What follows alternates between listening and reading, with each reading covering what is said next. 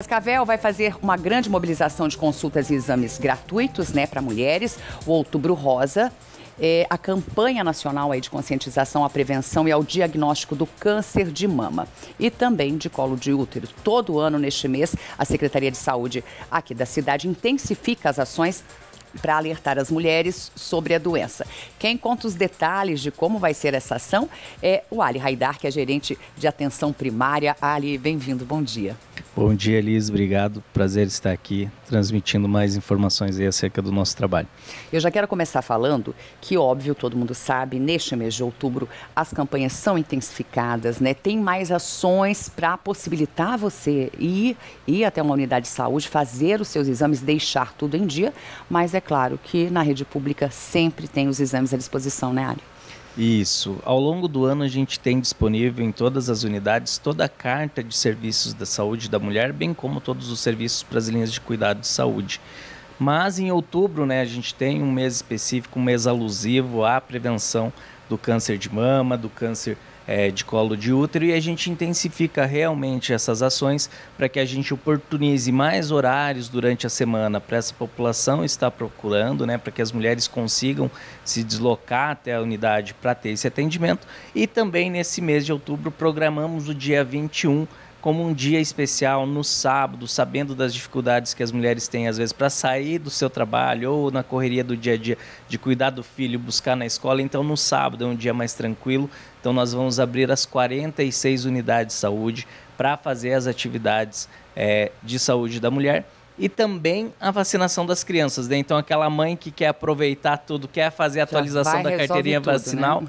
já vai, já leva a criança também, já faz seus exames, já faz suas consultas e deixa tudo em dia, tudo em ordem. Que ótimo. A Ellen até trouxe algumas informações. Jornal Tarobá, primeira edição, também né, vai abordar esse assunto para que a gente chegue a mais pessoas, para que todos possam, então, deixar essa carteirinha em dia, fazer os exames, cuidar da saúde.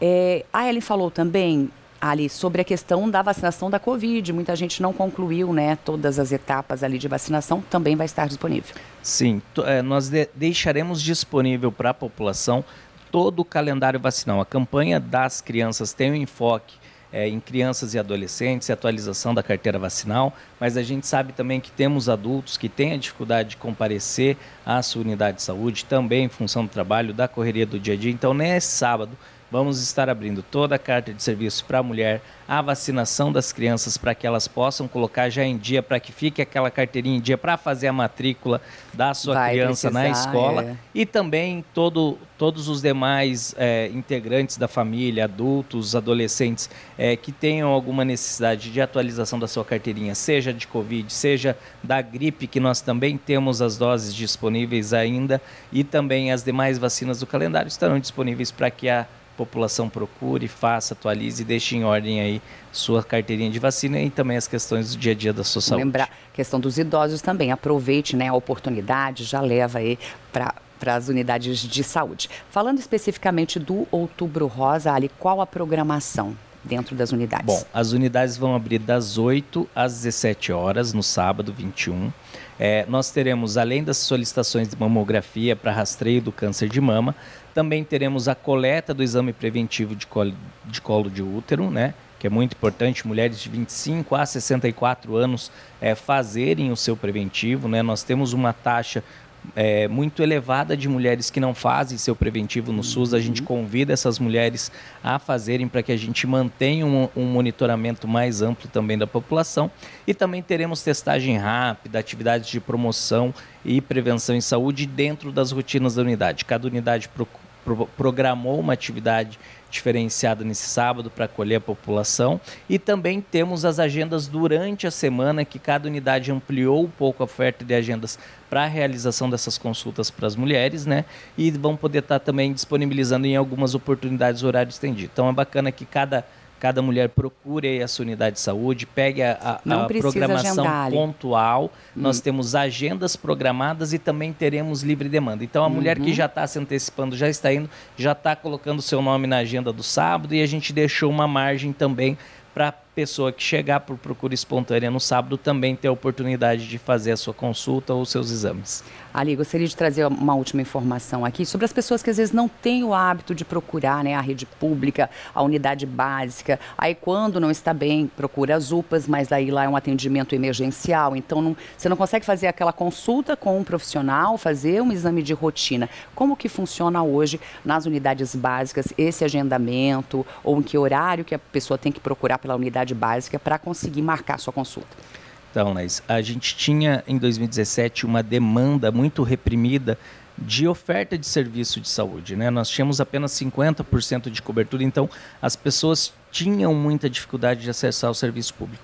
Hoje a gente chegou em 100% de cobertura, nós temos aí só de equipes de saúde da família 67 equipes atendendo disponíveis em todo o horário comercial. Então nós temos equipes que trabalham das 8 às 17, das 8 às 19, temos unidades das 7 às 22 horas. E a nossa capacidade instalada de atendimento ela ampliou muito. Então não é mais aquela necessidade da pessoa chegar de madrugada na unidade uhum. de saúde, né?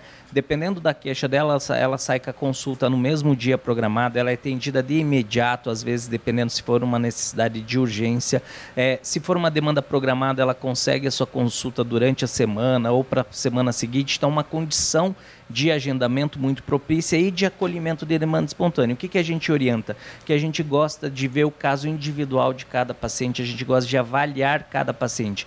Então, que a pessoa que tem a necessidade de consulta, que ela procure essa unidade de saúde, ela vai ser atendida, ela vai passar por uma consulta de enfermagem prévia para ela ser triada, para ela ter detectada todas as suas necessidades e para essa profissional encaminhar ela dentro dos fluxos que a gente tem dentro da unidade da melhor forma possível. Ela vai fazer todas as conversas, vai tentar priorizar, se o caso for urgente, já para o encaixe no dia. Se for uma demanda programada, ela vai poder programar ao longo da semana ou do dia e vai ofertar essas possibilidades para o paciente, vai conversar com ele, falar, ó, é, Hoje eu não consigo porque é uma, a demanda não é tão urgente, ela pode ser programada, mas eu consigo encaixar você hoje à tarde, é, perdão, no dia seguinte ou durante a semana filas. ou na próxima semana. Maravilha, sem filas, né? sem uhum. muito transtorno. Que bom.